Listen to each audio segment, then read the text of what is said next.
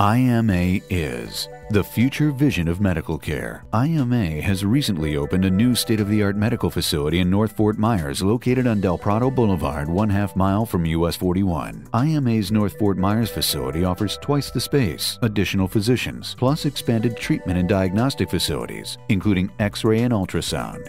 IMA's North Fort Myers facility is the newest addition to IMA's future vision of medical care.